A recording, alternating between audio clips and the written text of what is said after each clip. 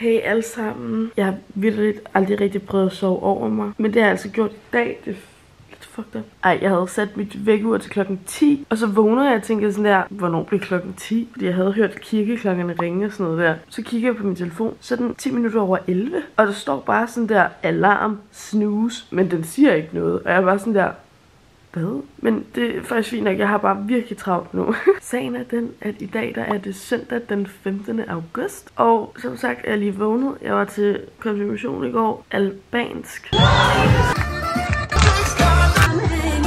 Så det gik øh, vidt for så Jeg var først hjemme klokken 3. Mm. I hvert fald, jeg skal lige gøre mig klar. Og så er jeg blevet inviteret til Ternet Ninja 2 gallepremiere. Så øh, det glæder mig helt vildt meget til. Den skal jeg ind og se sammen med mig. Lad os lige komme i noget tøj og få lagt noget makeup og sådan noget. Ses!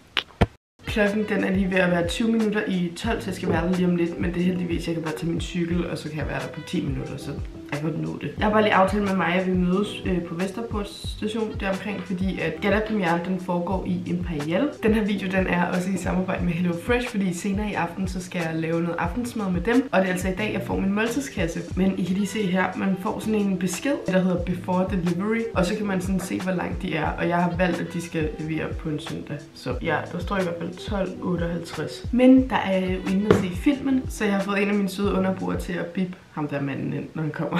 I hvert fald, jeg ved ikke, om I ved det, det gør jeg overhovedet ikke. Men jeg elsker Ternet Ninja. Altså den filming, jeg var sådan der, jeg fattede ikke, hvad det var til at starte med. Anders Mattesen, han er bare mega god. Og jeg ved ikke, om nogen af jer ved det, men i Ternet Ninja 1, der var det min bror Alfred, der lagde stemmen til. Han er med i mange af mine videoer her på kanalen, blandt andet også min sommerhus-vlogs. Øh, det er i hvert fald Alfred, der lagde stemmen til, og øh, jeg har sådan en video, jeg lige kan lægge ind her. Skrid som mand og din søn er en ludfattig luder.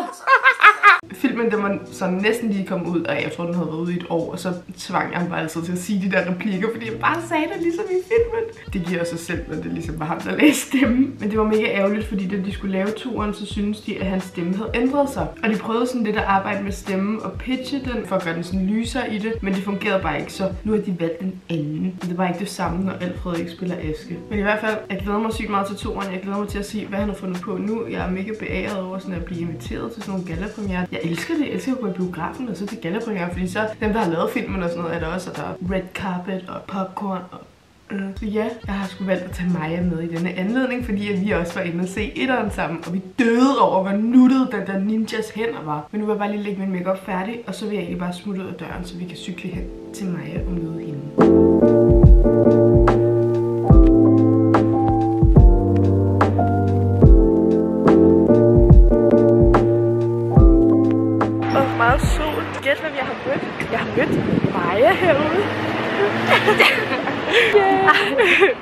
Veninde.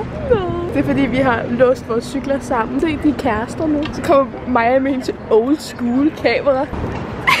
Det er fordi Maja har sådan en mega sejt kamera, der er på sådan nogle film, og så går hun ind og får fremkaldt billederne. Præcis.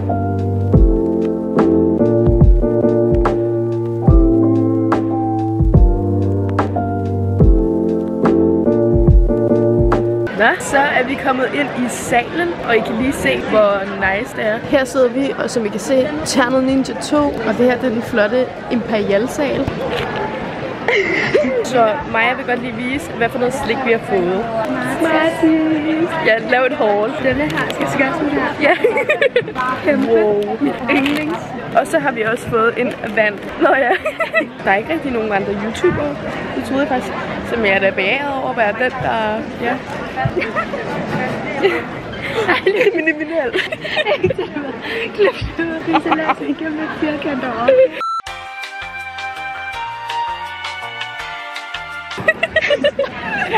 Der er et eller andet, prøv at se, der er sådan et filmhold derovre. Jeg tror, der er nogen, der filmer øh, sådan en... Nå, nu sker der noget. Hallo? God formiddag. Om lidt så skal vi jo se Terna Ninja 2 heroppe på det store lærer. Nu er vi endelig i mål, og øh, to og et halvt år i mørkekammeret med kun en forestilling om, hvad der kunne være en værdig efterfølger. Toren er lavet til jer, så jeg håber, I vil tage godt imod den.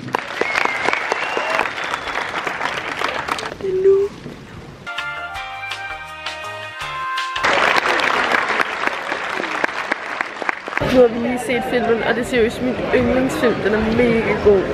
Altså, vi døde af grin under hele vejen, men det var fordi, det var en blanding af noodleshock og grineflip, fordi den er altså seriøst god. Jeg kan da slet ikke. Jeg kan da slet. Den der ninja er alt for noodle, jeg kan slet ikke. Men man må ikke sige noodle, så gør han sådan her. Hey guys. Nu er vi øh, cyklet hjem til mig, og det er faktisk mega godt vejr udenfor. Vi sidder lige her, mit øh, skrive spisebord er det. Og øh, jeg har lige vist mig mine boligplaner.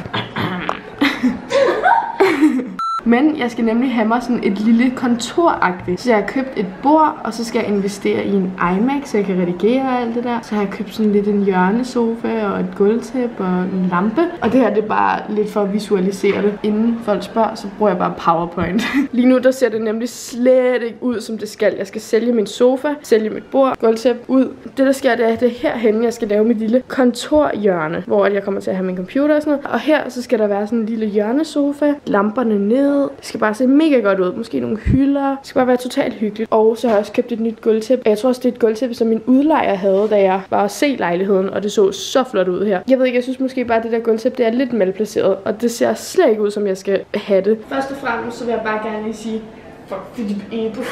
Ej, men det er fordi, at jeg synes bare, at Ternet Ninja 2 var så god. Jeg vil bare virkelig gerne se den igen. Ja. Den der ninja? Wow, så wow. Den er så nuttet. Og så gør den sådan her, fordi jeg Zoom, han dissede bamsen og sagde, at det var en pigebamse. Og så gjorde han sådan her, den Ternet Ninja. Jeg elsker det bare. Barnemorder. Nå, hvor kom jeg fra? Ej. Godt. Sagen er den, at mig og jeg vi vil spise lidt frokost sammen, men vores maver rumler ikke helt endnu. Jeg tror faktisk, vi vil gå ned og finde sådan nogle små sushi-ruller, man kan få, som ligger lige hernede. Og så tror jeg måske, vi tager i Kongens Have og sidder og spiser dem og hygger lidt. så ja, det er status for livet lige nu. By the way, jeg har fået min Hello Fresh pakke. Så det her, det er faktisk pakken. Så jeg har valgt asiatisk inspireret wok, kokoskage, kyllingewok, cremet tagliolini. What? Der ligger lige en pore hernede. Vi har lige sat os for lige at samle mit bord.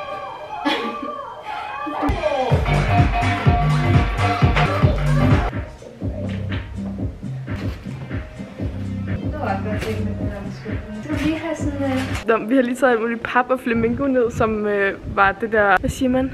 Var emballagen. Emballagen til mit bord. Og det gik for sig. Altså, det var lige før, det ikke kunne lade sig gøre, men jeg sætter lige et billede ind af her. Hvor, altså, det der flamingo, ikke? det var over det hele. Så nu har vi lige pakket et tæppe og nogle puder. Og så øh, skal vi faktisk bare sætte os hen i kongens have og hygge lidt. Nu er klokken cirka blevet 16, og vi har slået os ned her i kongens have. Og vi sidder på mit tæppe her, og vi har taget nogle puder med. Vi sidder og spiser det her hayaku sushi, som er sådan ret tæt på mig. Og det er mega smart. Det er sådan en sushi-rulle, som du sådan lidt spiser som en rulle. Som en durum. Ja. ja. Så øh, det sidder vi lige og får sådan lidt sent frokost-ish. Det er mega hyggeligt at sidde her.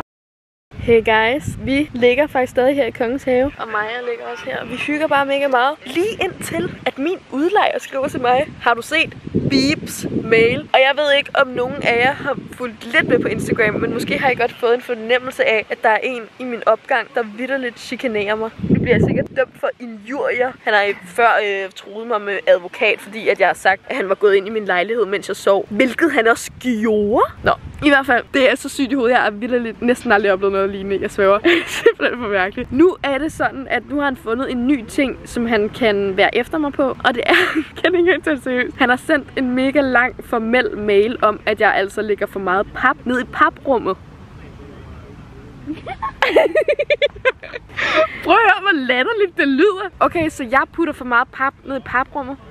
Og så skriver han sådan noget med til min udlejer, et eller andet med, øh, jeg tror det er fordi hun får mange ting sendt fra virksomheder, og det er bare ikke okay, at hendes erhverv skal sætte præg på affaldsrummet. Og jeg er bare sådan, bro, jeg er næsten lige flyttet ind, jeg får helt sådan nye møbler, og som I så, mig og jeg, vi havde jo taget det der pap ned i rummet, så han gået ned og kigget efter inde i paprummet og gået op og skrevet den der mail, og jeg tænker bare, get alive. Altså tænk, det er faktisk lidt synd, at han ikke har andet at tage sig til. Gå ned og kigge i paprummet og se, om mit navn står på pappet for at skrive en mail. Og sådan noget med, hvis man gik rundt og spurgte mine naboer, har du nogensinde følt dig generet af, at Louise Madsen har puttet for meget pap ned i paprummet? Så tror jeg ikke, der er nogen, der har sagt ja, det er jeg faktisk virkelig irriteret over. Det er sgu da derfor, at paprum er. Eller det skal lige siges, vi har ikke noget paprum. Vi har sådan en lille affaldsrum. Og det, som han kalder papcontainer, det er vidderligt bare en skraldespand. Og meget af det pap, det kan ikke være dernede. Men det pap, der kan, det lægger jeg selvfølgelig derned. Og ellers så folder jeg mit pap så meget sammen og så lidt småt som muligt. Og stiller det ved siden af containeren op ad væggen, så det ikke er til gene for nogen. Altså man kan stadig, der er stadig gulvplads, man kan stadig gå derinde og sådan noget der. Men det er jo klart, at når jeg bestiller et bord, så vil der være meget pap. Men hvad fanden, hvor fanden skulle jeg ellers stille mit pap? Så det skulle jeg lige ud med. Der er meget mere til den her, men jeg, jeg kan ikke lave noget, imens at jeg stadig er sådan related til ham på en eller anden måde. Og så på de mails, han sender, som bare er ren løgn og latin, så CC'er han alle mulige advokater og alle mulige mennesker og altså alt muligt. Jeg tænker bare, hvorfor CC'er du dem? Er det for at få mig til at ligne en eller anden mærkelig en? Altså det burde være mig, der anmeldte ham for injurier. I hvert fald så fik jeg lige en lille bid af det. Og jeg må altså godt lægge pap ned i paprummet.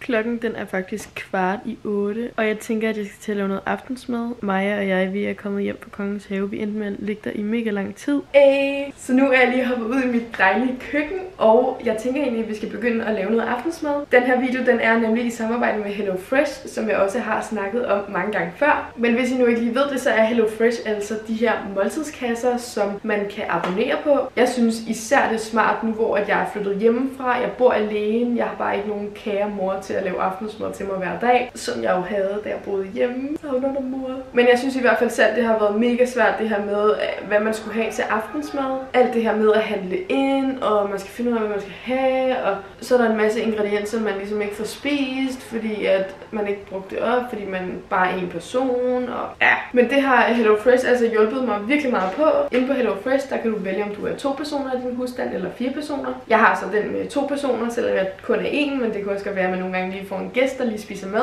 Det er så ikke lige mit øh, tilfælde i dag, men så kan jeg altid gemme det, så jeg også har til i morgen, når jeg skal have frokost for eksempel. Du kan også vælge, hvor mange måltider du vil have øh, om ugen, og jeg har altså valgt en pakkeløsning med fire måltider om ugen. Øh, det sparer altså bare sindssygt meget sådan tid og stress med, hvad man skal handle ind. Og, ja. og i den her uge, der har jeg altså valgt de måltider, som jeg også viste jer tidligere i min vlog. Okay, jeg er lidt om jeg skal vælge den her cremet tagliolini med sådan noget frisk pasta, eller om jeg skal vælge den her kyllingevok. Jeg tror faktisk, jeg prøver den her cremet tagliolini. Og det er faktisk, det ser mega lækkert ud fordi det er, det er sådan noget frisklavet pasta. Men I skal jo heller ikke snydes, fordi hvis nogen af jer sidder derude og også godt kunne tænke jer at afprøve Hello Fresh, så har jeg altså en rabatkode til jer. Min rabatkode det er Louise Madsen 725, ja eller Louise Madsen 725. Det er altså fordi, at I kan spare helt op til 725 kroner. Jeg giver jer nemlig 30% rabat på de to første måltidskasser, I bestiller, og dernæst 10% på den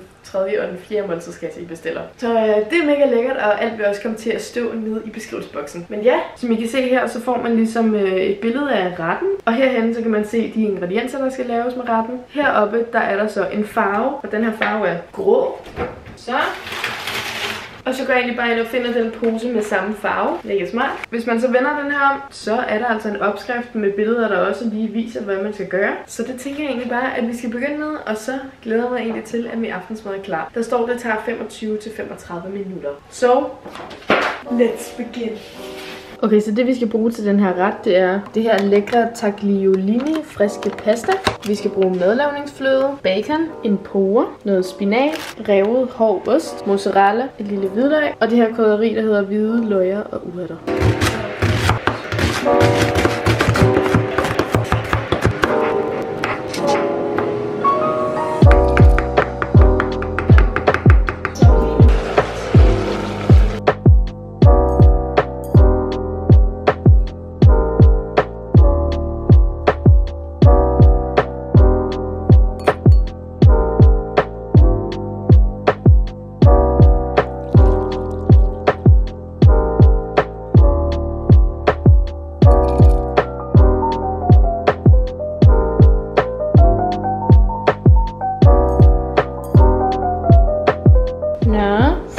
Fået lavet min pastaret her, og øh, den ser mega luksus ud. Det ligner sådan noget, man får på restauranter. Jeg prøver lige at få det hele med i en bid, og så laver vi lige total taste test her.